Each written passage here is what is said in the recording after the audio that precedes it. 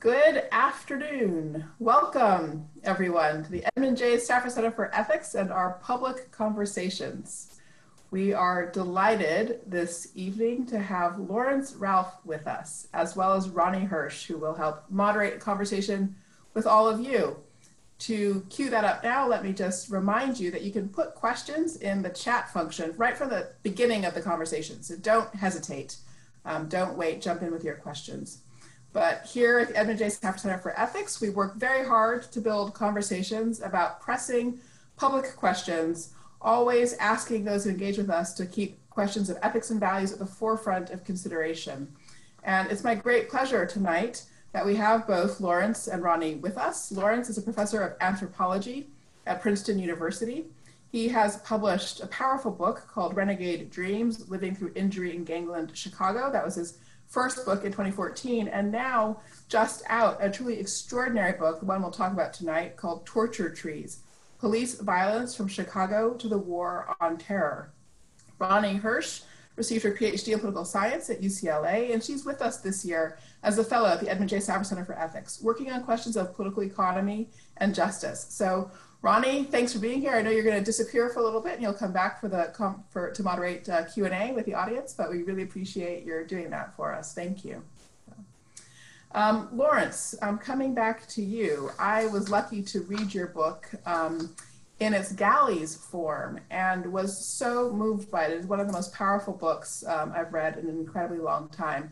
And I want to just say to start to sort of tell everybody who's listening that um, it really starts from cases of torture in Chicago police force, and Laurence will tell us more about that. Um, but Laurence, um, through close ethnographic work, um, wrote a book um, structured through letters, series of letters to different people who play a role in how Chicago administers justice, those who experience the administration of justice, those who are responsible for administering it. And it results in one of the most profound frameworks for thinking about how we administer justice in this country that I've ever come across.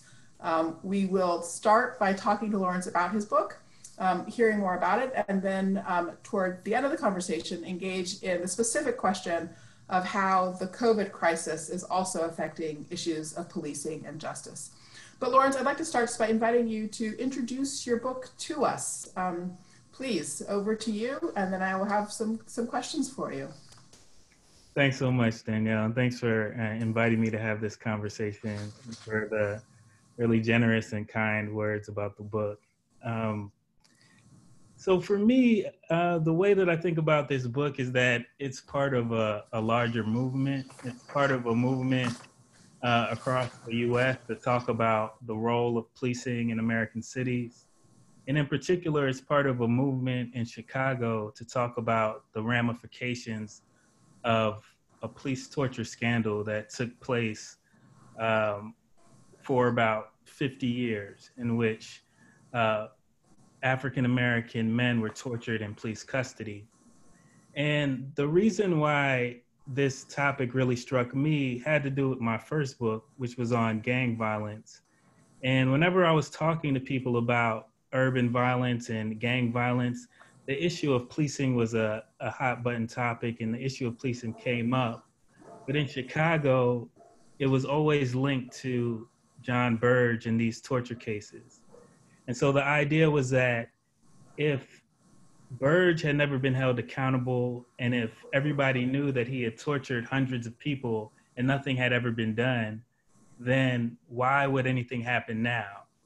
And so that was a, a profound statement on the uh, lack of accountability and the lack of legitimacy that people had in the police. And so I knew this was a topic that was bigger than what I was going to tackle in Renegade Dreams. And so I dedicated the next book for dealing with the history of that torture and the ramifications of police torture today. Thanks a lot. So um, let me start by something actually about the structure of the books. I think it's really important for people to know um, how you went about um, really kind of inventing a new form of book um, to talk about this problem in Chicago. Um, the book is a series of letters. Can you just sort of walk people through uh, who the addressees are for the letters that you write and uh, what you were trying to do with the kind of different perspectives that you engaged with in the different sort of series of letters. Yeah, um, thanks for that question. So first, I would say that as an anthropologist, I always uh, come to a research project thinking about the best way to convey the ideas and to convey the message. And that's always rooted in the way that the people that I'm talking to experience the problem. And so when I was talking to people in Chicago about police violence and the history of police violence and torture in particular, in particular, I came across certain limitations of how academic writing usually takes place. It usually takes place um, in terms of an expert explaining a problem to a general audience, and that was inadequate for a couple of reasons. One was that the people who talk, to, I was talking to about this problem knew that torture had been an open secret and that people knew about these cases. It's just that no one believed them. And so I wasn't discovering this phenomenon. I was just helping to um, talk about the consequences and the implications of torture. And another issue came with the topic of torture itself. I mean, torture is so hard to describe and it's so hard to talk about that it can easily veer off into voyeurism so I thought a lot about what makes something voyeuristic. And eventually I realized that it has a lot to do with who the presumed audience is for that message. When I was traveling across Chicago and listening to the torture survivors tell their stories in public settings, I noticed that it never seemed voyeuristic. And that was because they had a particular purpose for telling their story they were telling their story a lot of times to younger generations so that something like this wouldn't happen to them. They were telling it in the context of legal cases so that they could get a, settlement or adjudication or um, get reparations for police torture.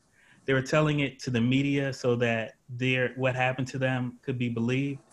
And so I thought about a lot about who I was telling the story to.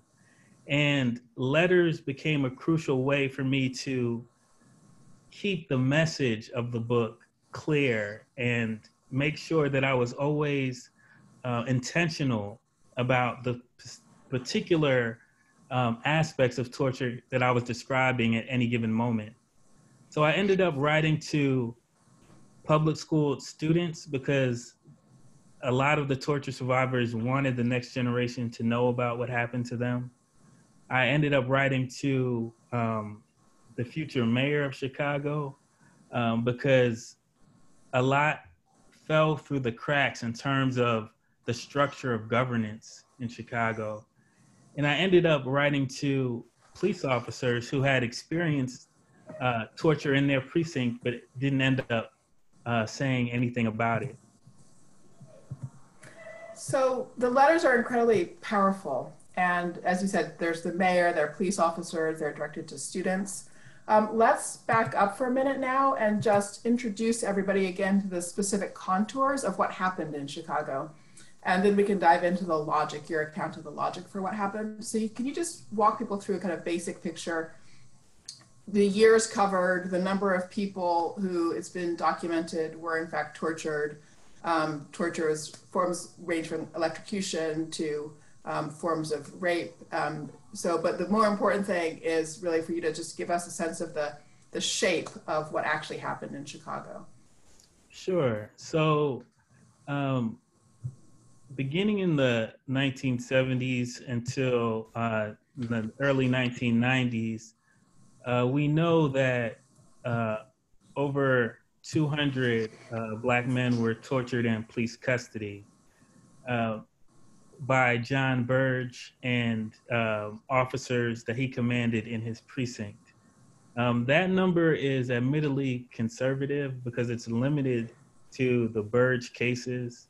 Um, since that time, there's been a torture uh, relief commission instituted in Illinois, the first in the country, and hundreds of claims uh, have been coming in each year since uh, that re- the relief commission was instituted, and so we know that this these torture cases expand beyond Burge and they expand beyond that particular precinct, but um, the reason why the the Burge cases are important is because it's tied to the efforts within the Chicago activist community to gain reparations for the torture survivors. And so in um, 2015, um, Chicago became the city, first city in the country to have reparations awarded to them uh, because of a historical injustice. And this was a landmark decision because uh, usually when it comes to police violence and police settlements, those settlements are individualistic. And so a, certain, a particular person might get in a settlement, and that settlement often comes with a stipulation that they can no longer talk about what happened to them. And in this case, uh, the reparations ordinance was landmark because it was a collective uh, judgment. And what it instituted were uh, a number of collective concessions throughout the city. One was that the history of Chicago police torture be taught in Chicago public schools in, in the eighth grade and the 10th grade. Another concession was that uh, a torture center be built so that victims of police violence, not just related to these cases, but any victim of police violence can um, get counseling and free, uh, free way uh, to process their grief and pain. Um, it also uh, awarded a monetary settlement for 57 of the Burge related victims who hadn't uh, gotten settlements before. And so, um, what I wanted to do was to add an academic lens to part of the collective movement to talk about reparations in Chicago. We have lawyers um, like Flint Taylor, who wrote, also wrote a, a great book called The Torture Machine about the history of these cases. We have torture survivors themselves who have written great books about their individual experiences. But I wanted to talk about the shape and the structure of police torture and the, the implications it has for the future. So that's perfect. So that's exactly what I wanted to ask you about uh, next was um, the work that you do to really explain the logic of police torture and the case you make, the argument you make that um, we've all um, relied for too long on, in essence, the sort of the bad apple argument that, oh, yes, there's a sort of active torture here and active torture there, but it's always a bad apple. And what you have to do is discipline the bad apple, and that's how you deal with torture. And you make a completely different kind of case. Um, you really put together all the pieces of police culture and governance at the city level, kind of silences and willingness to look away, all of which combine into a system that made systematic torture possible. Um, I think you use a metaphor of, a, of roots and a tree uh, to describe how it all fits together. Can you walk us through the logic that you see that makes it possible for a system of justice, in fact, to sustain torture over time as an intrinsic part of what it does? Yeah, I mean, I think for me, a key way to explain that is through the idea of the open secret. And so, what's interesting about an open secret is that it's not just that um, people don't know something and, and, and then it's uh, kept secret it's that people feel that even if they talk about it, even if they talk about what they've experienced, it won't be believed. And it's similar to um, what's going on in, in terms of the Me Too movement, in terms of the structure of power, in which for a long time people know about these things that are going on and they know um, certain actors that are taking play uh, that are are engaged in in in these illicit acts but there's also a whole structure that protects them and so when i talk about the torture tree I'm talking about the entire structure of governance that protects a police officer like John Burge uh, from facing any form of sanction. And this is because when someone uh, has been tortured in police custody, and then they explain to the district attorney that they've been tortured, that district attorney wants to close the case and so would believe the police officer as opposed to the the torture victim. Uh, because of that, then judges have the incentive to believe the district attorney, and acts of torture get silenced. But not only that, over time, these same people within governments move through uh, a career ladder. And so the district attorney who heard people claim to be tortured when he or she was a district, district attorney eventually becomes a judge. And when that person becomes a judge, then they don't listen to any cases involving torture. Or they become a politician. And when they become a politician, they uh, ignore the activism that's going around uh, the cases of torture. And this is the story of torture in Chicago. You can very easily trace the networks of people in particular positions over time. And it's easy to see why uh, torture becomes an open secret for as long as it did. And so, on the one hand, I want to show the open secrecy that uh, sustains something like police torture. But on the other hand, uh, another concept that I talk about is a continuum of police violence that connects everyday instances of police abuse to torture. And so when you talk to uh, Chicagoans about police torture, it's very easy for them to understand how it can happen because they're harassed on the streets daily, particularly in, in communities of color. And when they go to court and tell uh, judges about how they were harassed, how they were stopped and frisked, they're not believed either. And in the moment that they're harassed on the street, uh, they believe that at any moment uh, that that violence being inflicted on them can escalate, and so it can span from a stop and frisk to torture or death very quickly.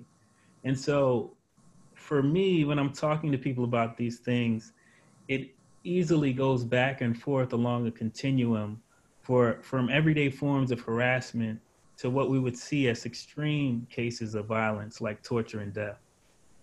And so where the concepts really come together, the open secret concept and the spectrum, the continuum of violence concept is in the way in which truth claims um, and epistemic power, you know, we sort of stay in the world of philosophy and so forth, epistemic justice issues and so forth um, intersect. So in other words, harassment isn't just about the actual physical encounter, it's also about the degree to which it enters into the certified record um, of the judicial system. And it's the movement between claims of truth and certification um, in a system where there's a whole lot of work also being done um, that replicates um, injustice over time. That seems like one of the really important um, takeaways from your book. Um, I want to invite you to share an animation that you've done of the opening section of the book. So we've talked a little bit about how the, the book is structured as a series of letters, and the first letter is to um, Chicago Public School kids. And so, um, and, and you've animated it, and it's a beautiful, um, extraordinary thing. So I would love to show that to everybody um, and then come back to the conversation. Okay, it's, it's about three minutes, I think. Is that right? Yeah, it's about three minutes long. Okay.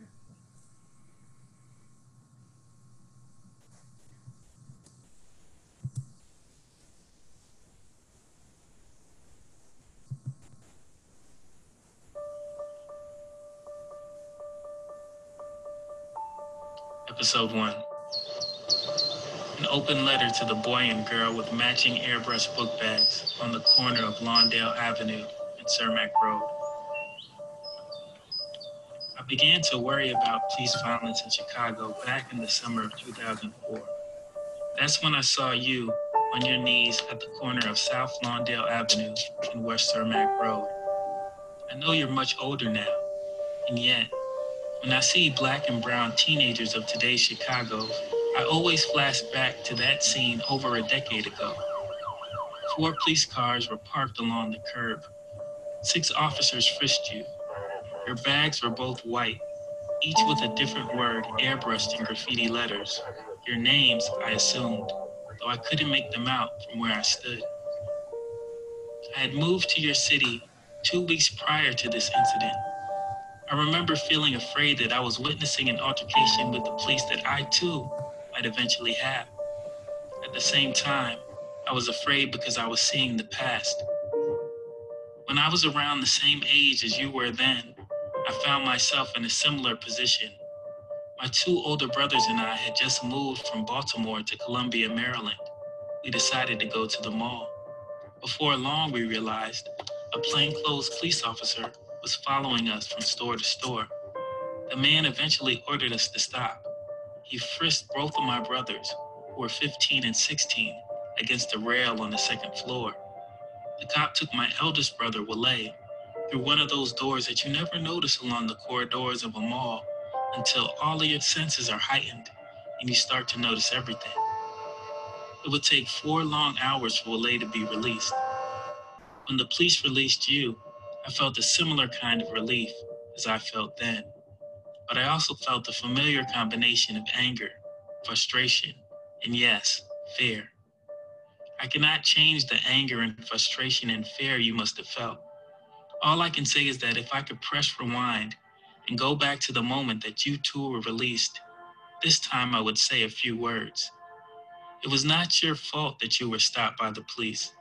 I know they probably suggested it was, but those accusations are just a way of concealing the open secret. The open secret is this the kind of police harassment you faced has grown into torture and has even resulted in death. All because the police's use of force is rooted in fear.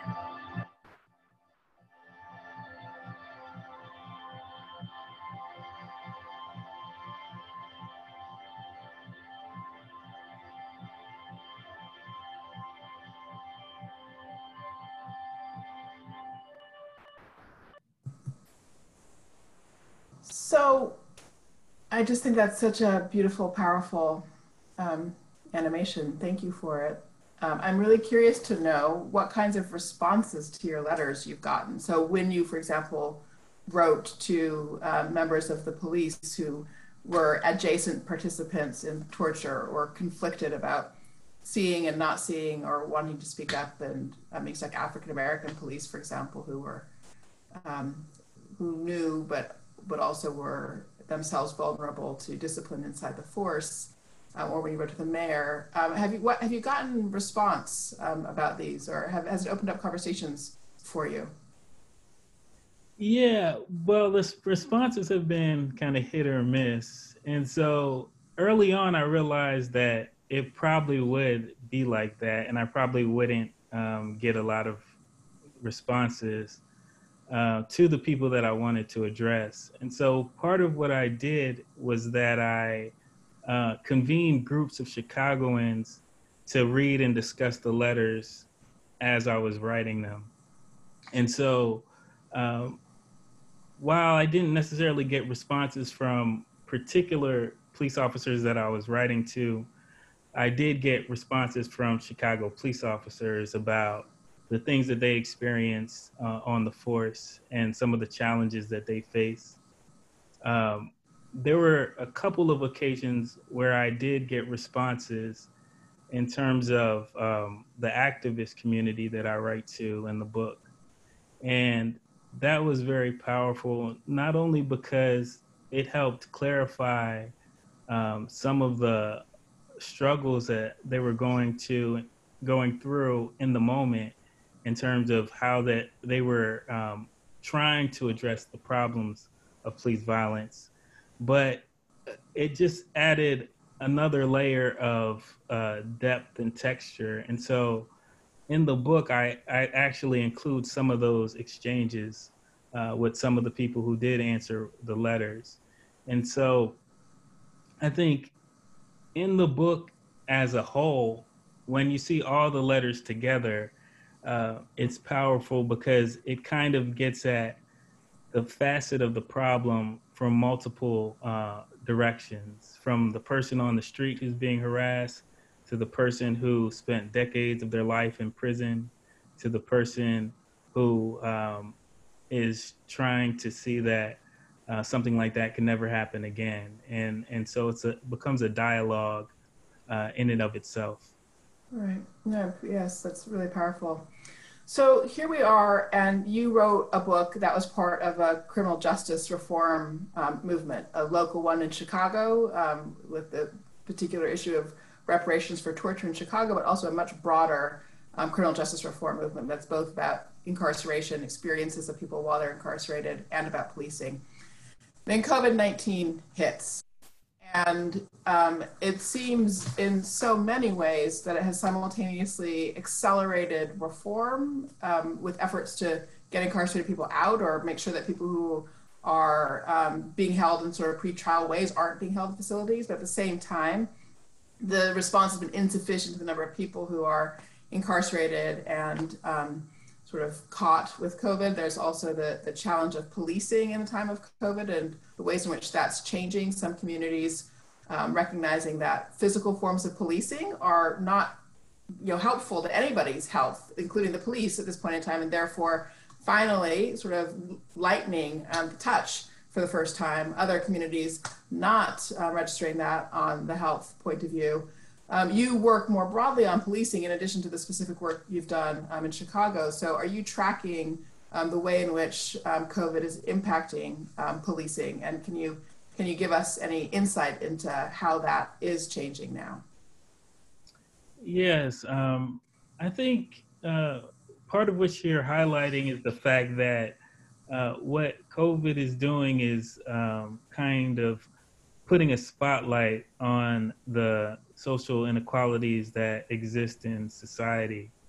And on the one hand, uh, there we see now uh, that there is the capacity to address these issues in a way that um, you know the activist community has been um, clamoring for for a long time in terms of we can actually address uh, some of these issues of pretrial detention. We can actually um, uh, work on um, even the fact of um, something like stop and frisk and, and the need for, for police now to be uh, constantly aware of how they interact in communities and the effects that their presence has on literally the people who they touch every day.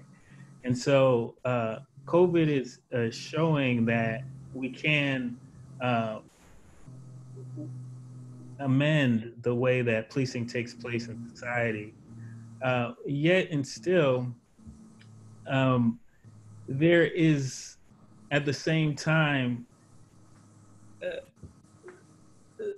it's it's highlighting the fissures that already exist and and and it's um, raising new questions about vulnerability and the way that our vulnerability is shared. Uh, what I worry about is that um, when you're dealing with populations who have a history of uh, uh, harassment and violence and and hyper policing, uh, how do you um, deal with the question of public safety without it being punitive? And um, we we see that that's a major issue now because of the way that the the disease threatens all Americans and everyone in the United States and actually everyone in the globe. But when we're talking about um, the homeless, uh, communities that have been neglected, when we're talking about undocumented people, um, the ways in which we've treated them in the past in terms of governance then impacts the ways that um, we can implement interventions to make sure that the disease doesn't spread. And so um, there has to be a way to um, uh, think about those issues together. So you've done some work, as I understand it, um, on programs to support police training and police education that are, as I understand, you have to tell me sort of in the direction of helping police have um, more systemic understandings of um, economic injustice, um, social inequities, and things like that, so that they can be more knowledgeable in their engagement with um, communities uh, where people are in marginal economic situations and things like that. Um, is there anything from the work that you've done in that space of police training that seems to you important um, to help us all think about how policing might evolve um, under COVID conditions. Um, yeah, I mean, I think that a lot of the interventions that are going on in in the most progressive police uh, departments across the country have to do with the realization that um, the police are not the ones who are best equipped to solve every uh, social problem and yet they're called to solve problems that they're not trained to solve. And so uh, there's different interventions across the country when it comes to issues of mental health, for instance, uh, or um, um, issues of even uh, drug use, in which um, we found that you know locking up people is not going to solve that problem. And so the I think that the problem more generally, uh, or the danger of policing in the time of COVID, is that we're presented with the problem, and that the only way that we know how to solve it is through a punitive uh, way of sanctioning people. But in the age of COVID, punitive measures, um, everyone that we've imagined would only um, exacerbate the problem. And so uh, we need to find uh, more kind of public health interventions that uh, expand uh, care and expand the safety net to vulnerable populations. And I think that's the only way that we're going to kind of make headway on the issue.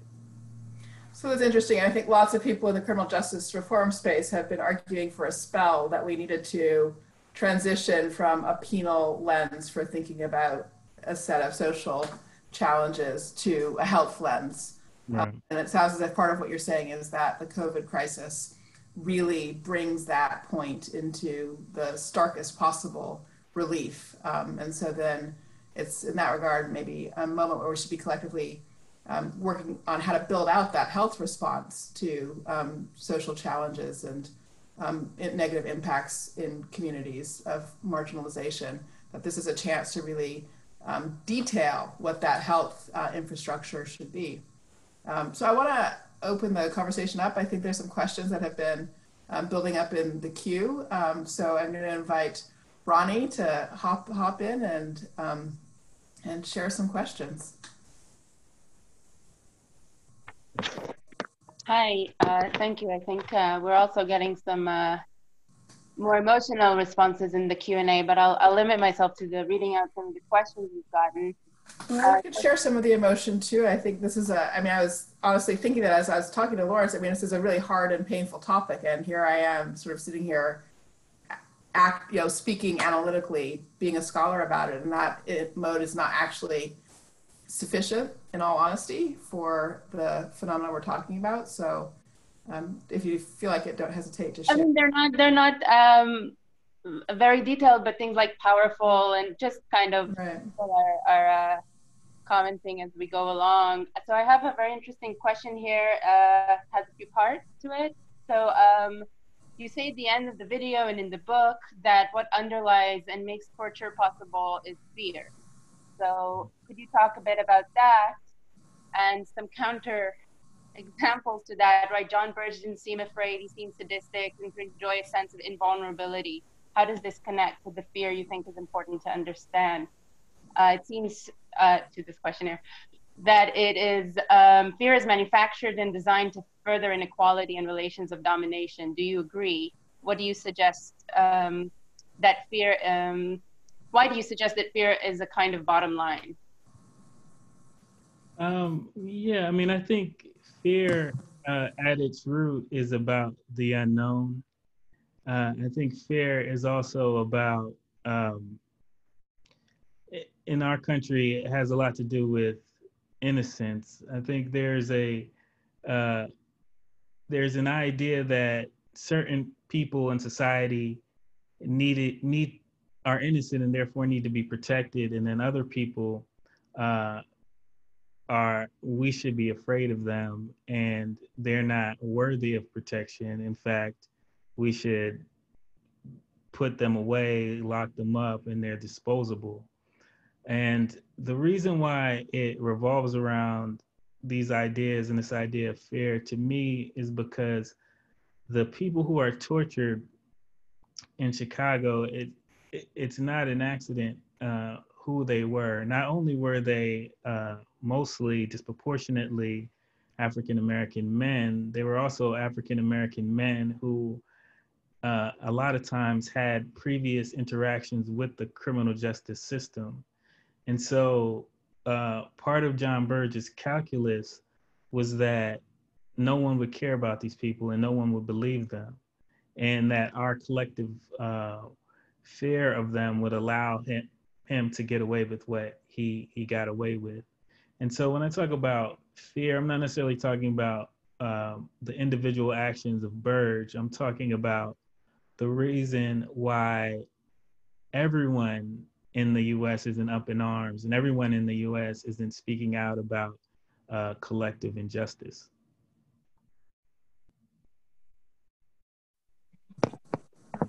Should we take another question? Sure, go for it, yeah. All right, so um, another question is, um, was there something special about Chicago that made the scale of police torture worse? Or was there something special about what happened in Chicago that led to the eventual recognition of the problem? Um, well, I think that uh, I think in terms of just the size and the population of Chicago and the the history of activism in Chicago, as well as police abuse in Chicago, um, contributed to both uh, the torture and also why we know about it. But I think that similar things have taken place across the country. And I think that there's similar open secrets that go on uh, in terms of uh, police torture along this spectrum and continuum that I talk about that are often unacknowledged. And so while Chicago is an example, I don't think that what I talk about is limited to Chicago. And so part of what I want to use the book to say is that although this happens in Chicago, what prevents it from happening anywhere else in the country?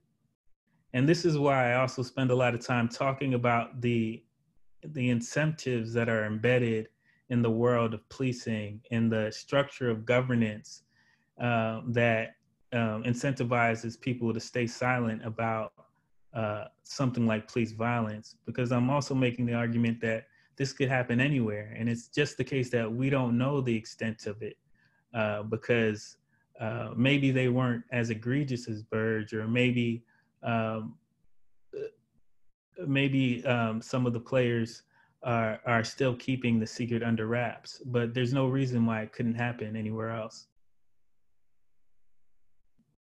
One of the things that's incredibly powerful in your book is the way in which you um, really bring to the surface um, sort of quite troubling and problematic moral intuitions that many people um, just re- operate with routinely. So, for example, you end up saying explicitly, you know, not even black and brown people deserve to be tortured. And then you say, not even guilty black and brown people deserve to be tortured. And the fact that you have to say that explicitly, right, speaks to the point that there's a certain um, looking away because um, collectively we um, cease to um, in our own hearts and spirits, afford full moral protections and sort of basic human rights to guilty people, and particularly guilty Black and Brown people. And it's in that failure of all of us to, um, just as a matter of consistent commitment, um, afford full protections of human rights, expect to afford full protections of human rights, even to guilty people, um, that we end up with a society where these kinds of things are done. So at the end of the day, the book is as much of a, uh, an exhortation to all of us um, to examine our own consciences um, as it is a kind of exposure of the open secrets of the city of Chicago. Um, so I think that's partly what you're saying too, with a point about fear. Um, is that fair, Laurence? Yeah, exactly. And I think it relates to the question of COVID as well, because I mean, I think part of what has been happening in these conversations about uh, expanding the the public health capacity and public safety capacity uh, in our cities beyond the police is that there's this idea that um, when you talk about a, a, drug user, for example, and finding an intervention for someone who's addicted to drugs that isn't incarceration, that they're addicted to drugs because of their own moral failure, right? Uh, and so a lot of what we think about as crimes is connected to individual moral failings of people but it cannot be argued that COVID is connected to uh, an individual moral failure. And so we can, it frees us up to think about an expanded uh, public safety apparatus beyond policing uh, because it's very powerful to condemn people based on this idea of guilty versus innocence. Thank you. Yes. Um, so we have a, a follow-up question on um, on this idea on the kind of incentives in the police and uh, policing structures, right? Uh, so with respect to police torture and the unacknowledged reality and willful blindness surrounding it, what do you see as the drivers or institutional incentives for living the lie rather than addressing the living injustice? Yeah, that's a great question. So in the book, I, I um, look closely at the John Burge's precinct and I look at officers who were in John Burge's precinct at the time that torture was going on. And these officers were uh, mostly African American. The ones that I talk about were mostly African American. And so they were excluded from John Burge's inner circle, and yet they still didn't um, openly uh, talk about torture. And not only that, they worked very hard to keep themselves ignorant of knowledge of torture because they didn't want to be able to talk about it. And so I, I call that like learning to know what not to know. They developed a very sophisticated way to stay ignorant. When someone was coming in uh, who they suspected was going to be abused, they went the other way. When they heard a noise coming out of an interrogation room, they took time off. And so uh, they kept themselves ignorant of, of what was going on, even though they heard these rumors. And so um, that's one way that we shield ourselves. And, and the reason why people do that is because it maintains their job security, it maintains their pensions, it allows them to move up in the ranks. And there were some people who blew the whistle of, of torture at the time. And those people were demoted and they were uh, given the worst kind of jobs. And so it was the people who either were directly involved or who uh, figured out a way to become ignorant about torture uh, were the ones who were most secure in their jobs. Yes. So uh, for one more question, I think, Ronnie. Yeah, I'm gonna I'm gonna combine a few questions that are all kind of mm-hmm. forward facing. So, a kind of general question: What role, if any, should police play in a more just society? So this is kind of the question of this ambivalence around um, kind of abolish the police or actually find different ways um, to reform it. And another question is: uh, kind of the future with regards to COVID. Are we going to observe increasing digital or AI forms of policing, stop and frisk uh, in the future? Um, so the, these kind of uh, technologies seem to be exacerbated because of COVID. And then there was a more personal question to you, um, which is kind of how, how this research has impacted you personally and uh, how it might be affecting your next project. So why don't why don't if you don't mind, Laurence, I'm gonna I'm gonna pick I'm gonna pick um, there. There's lots of rich and important stuff, but if you could maybe speak to that question about um, well, what what would more just policing look like, and then answer the question about how the, this work has personally affected you. Um, I think those would be wonderful questions for us to um, to, to, focus on for the conclusion. Yeah. Um, I want to thank everybody for those uh, wonderful and generous questions. Um, I think in the best case scenario, I think that we uh, we can develop a way to um, kind of expand the the safety network around uh, crisis and and people in need without again it, it resulting in being punitive. I think part of what the book will show is that one of the barriers to that will be the history of police violence and the way that that history uh, lives with us in the present. And so um, when you look at um, other places like uh, places like China right now, who are using these technologies to scan temperatures when people go into a building or, or something like that, and to really take stock of um, how the disease is moving throughout society which we will have to do if we need if we're going to get a handle on covid. Um, a, a major barrier to that will be the idea of surveillance and and security and the lack of legitimacy uh, particularly for vulnerable populations and so uh, the future of policing is to uh, to extend care without punishment. And so um, that's what we're going to have to do. And, and that's what, where other forms of governments and other forms of intervention uh, beyond police uh, come into play. Uh, in terms of how this uh, book has affected me, um,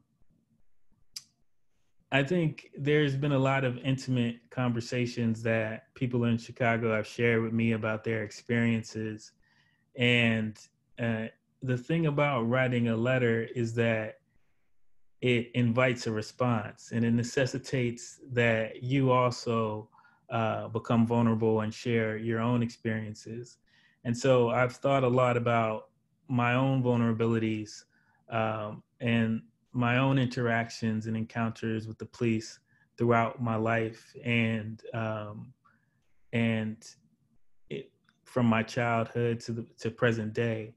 And i think it's um, really uh, made me think about scholarship and what scholarship is for in a different way. And and that is to really impact people's lives and and to uh, be bold enough as academics to take an ethical stance on the urgent social problems of our day. Thank you so much, Laurence, for those eloquent thoughts and also for your book, which I cannot recommend highly enough. I do encourage everybody to go get a copy. Torture Letters um, and University of Chicago Press. Thank you again, Laurence, for joining us. Thank you, Ronnie. It's been terrific to have this conversation this evening. And thank you, everybody who was um, participating today. We will see you soon. Take care.